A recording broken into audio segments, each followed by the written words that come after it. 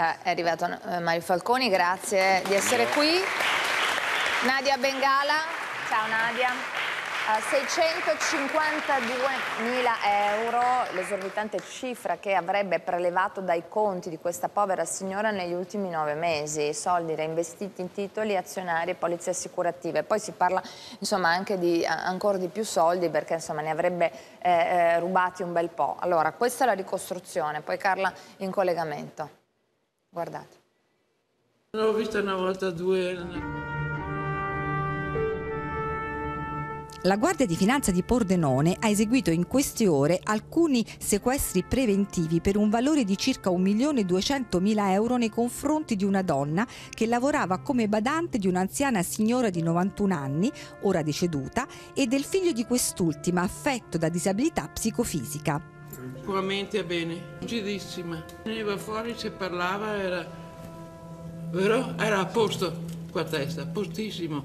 Era lavorata chi lo sa com'è? Sì, abitava qua. Tutta una situazione particolare, familiare che eh, si porta avanti da tanti anni, insomma. Secondo l'accusa, la donna avrebbe prosciugato attraverso numerosi prelievi al bancomat i conti dell'anziana signora, utilizzando i soldi per l'acquisto di titoli e la sottoscrizione di polizze assicurative.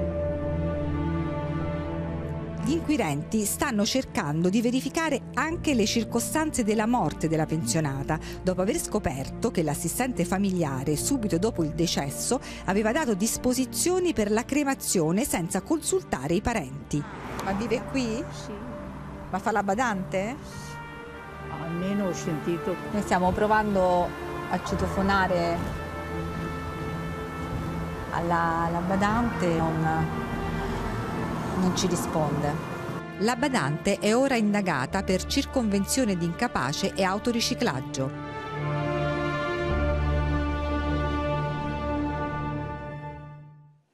Ah, Mario Falconi, difendiamo sempre gli anziani quando non si possono difendere, in questo caso questa donna ha 94 anni, gli sono stati rubati un sacco di soldi, l'unico figlio disabile che non poteva difenderla e eh, guardate, poi c'è anche il Eleonora è esecrabile, però lasciami dire, siccome io frequento tante case di anziani, non ho sufficienti con delle badanti, che eh, moltissime, se non la gran parte di queste, sono di persone splendide, che per pochi soldi stanno tutta la settimana appresso a persone anziane, eccetera. Se non avessimo in questo paese badanti, che ancora, ripeto, vengono pagate non a cifre esorbitanti, avremmo una grave crisi da questo punto di vista. Quindi vanno condannati questi casi senza se, senza ma, ma attenzione a non fare tutta l'erba un fascio, perché non è così.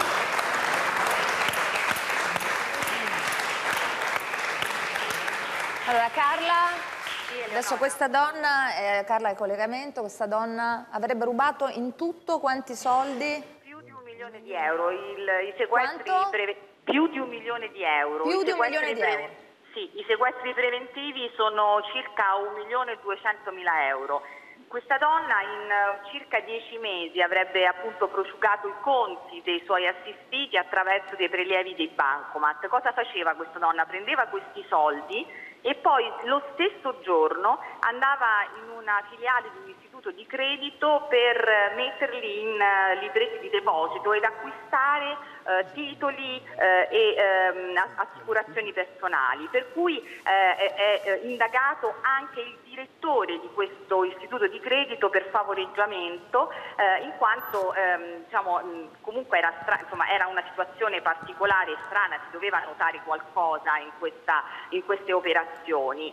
la donna ha anche tentato di acquisire un, un, un immobile appartenente alla famiglia nella quale lavorava eh, con i stessi soldi che aveva eh, rubato alla famiglia stessa. Anche in questo caso il notaio si è accorto che c'era qualcosa che non andava e quindi ha evitato eh, di fare il rosito di questa casa quando ha fatto i controlli dell'antiriciclaggio. E ora appunto una, questa signora, noi l'abbiamo cercata ieri, è una signora italiana che vive a poche centinaia di metri di dove, dove viveva la, la signora mh, deceduta nel, nel dicembre del 2017 e eh, adesso la Guardia di Finanza vuole vedere chiaro su tutto qua, quello che riguarda questa signora, compresa la morte, in quanto come eh, abbiamo, avete sentito eh, sembrerebbe che la badante abbia lei autorizzato la cremazione della signora appena avvenuto il decesso senza sentire assolutamente i parenti, che eh, comunque ci sono parenti eh, che potevano Sì, appunto decidere Non cosa avrebbero eh, mai fare. pensato Sì. probabilmente, No. no? Ecco No. che